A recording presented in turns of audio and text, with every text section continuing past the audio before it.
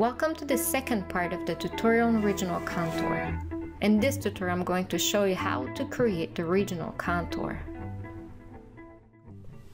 The regional contour can be made from any or a combination of the following.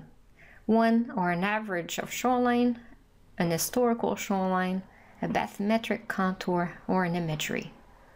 There are several ways to do the regional contour, and you could, for example, merge or average several shoreline together using an external GIS software or MATLAB, and then importing back into SMS the same way we did for the initial shoreline by closing all the gaps and removing the nodes.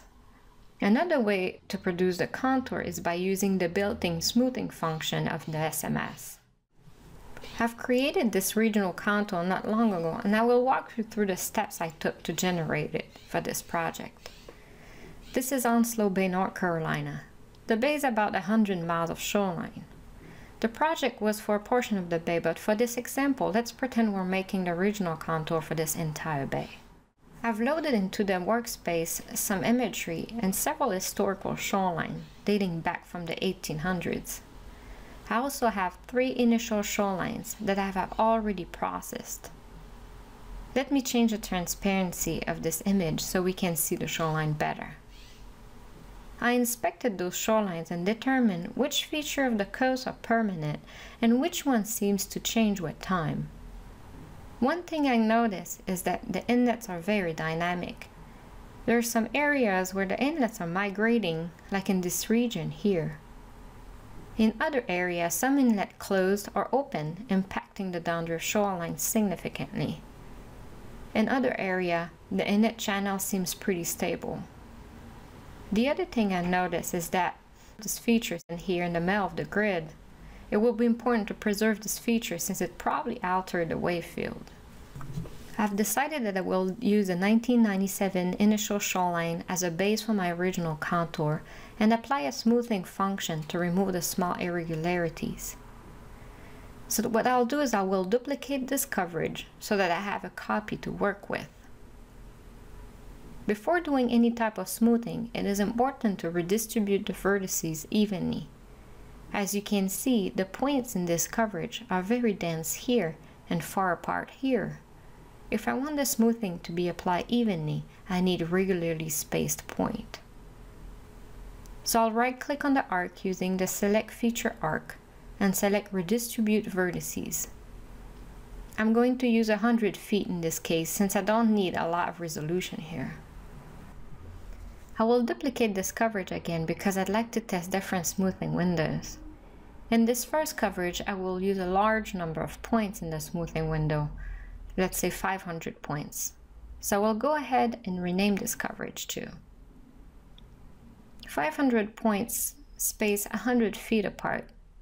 It's about a smoothing window a little less than 10 miles. Let's apply that and see how it looks like. Overall, it looks like we're smoothing out important portions of the permanent shoreline, like this headland or this shoreline here in the northern portion of the bay that is really pulled toward the sea. So that would be a good example of a regional contour that is too smooth. I will repeat this exercise, but this time let's use a small number of neighbor, such as 10. That would be a 1000 foot smoothing window. Now, as opposed to the previous example, it seems like the contour is following the shoreline too closely and includes feature like this fillet that should not be included. Now let's do this again with the 100 points. That would be a 2 mile smoothing window. You see that it does follow the overall shoreline shape, but it does not include the small irregularities caused by the inlet.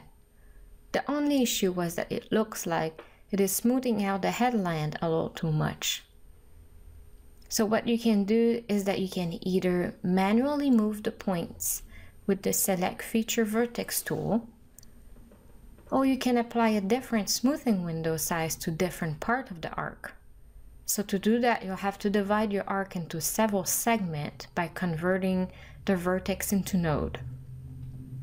Then you can smooth the segments separately and convert the node back to vertices once you are done smoothing.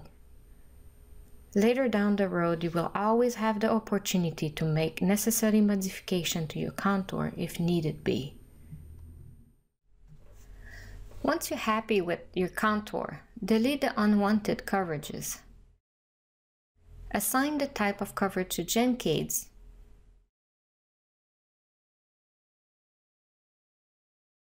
and then right click on the arc, go to attribute and select regional contour.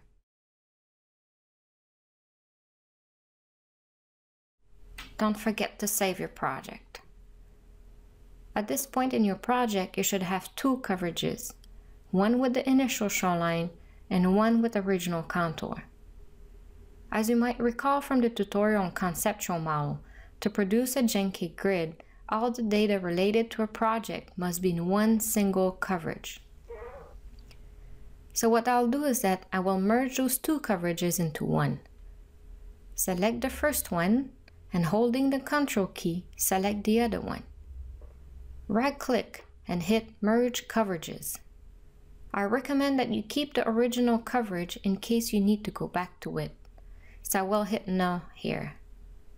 Now you have one coverage that contains both the regional contour and the initial shoreline.